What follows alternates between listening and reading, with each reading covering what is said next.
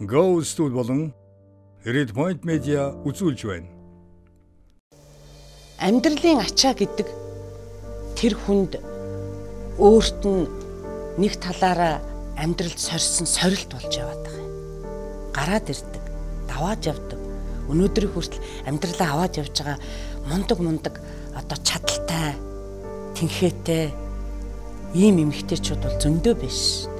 Хамгийн гол зорилго энэ аваагийн хамгийн гол зорилго юу юм бэ? Дийлэнх амьдралын ачааг үүрч яваа хүмүүс нь бол эмэгтэйчүүд харагддаг.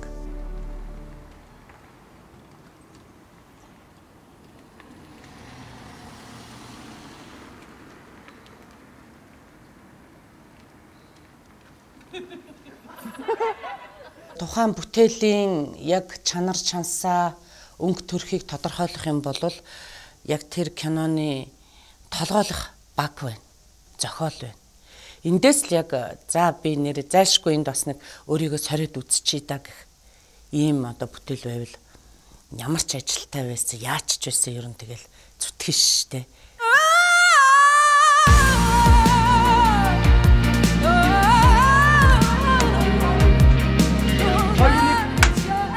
Галаа зохиолоо бичиж байгаа маа тэгтээ таныг харж бичиж байгаа. Энэ үг намайг яг гжигдээд энэ галваяр гэдэг найруулагч намайг юу нь яаж харсан юм бол Төгсгөлийн зоож маргаашийнхаа төгсгөлийг зоож өгнө гэсэн үг байхгүй. уулаал ингээл ингэх бол байдаг зүйл шүү дээ. Кино маань өөрөө одоо драма а гэтэл өөрөө тэр найруулагч маань урд нь дандаа тийм нэг инээдмийн кинонуудыг найруулж ажиллаж байсан. Тэгээд энэ кино барьж авна гэхээр надад бүр миний оо сонирхол татаад гжиг хүрээд гэх үдэ. Тэгээд л ерөөсөө би тэгвэл орё. Ажлыг тент нэг түүц, эн чинь нэг түүц, хоёр түүц ингээл зэрэг ажиллаал, ажиллаал ажиллаал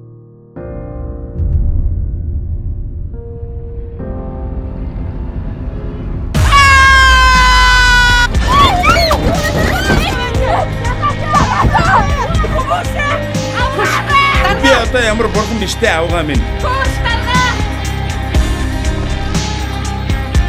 Маргааш маргааш гэхий. Хичнээн маргааш болох гэсэн юм бэ.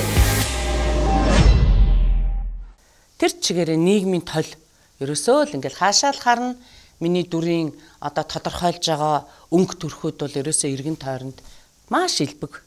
Өнөөдрийн бидний нийгэм дэх ард түмний амьдрал өнгө төрх нэг ийм л байна.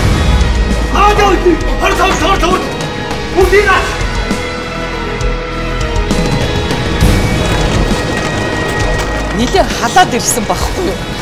Тэгэл за одоо дотроо бодоод байлаа. За одоо ингээл бошуул аваасаа өнөөдг нь шатаа дуусчих үедэл гэл Тэгсэн манай энэ оператор Гүйн Баатар чи их шуналтай шүү дээ. Ерөөсөө аль болох тэнд ер нь тэр одоо жүжигчин шатж гэнэ үгүй юу? Тэр дундаа ихчин шүү дээ. Шатж гэнэ үгүй юу? Ерөөсөө хамаагүй. Улмал авах гал яагаад хөдлөөд байгаа юм бэ? Яац юм бэ гэнэ юу гэнэ тэр холоос нэг олон юм сонсогдоод байсан.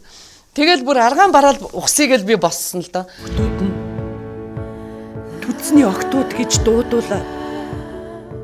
Тэрнээсээ ичээд гэрээч зааж өгөхгүй байх. Өрөвдмөр өө өрөвдмөр.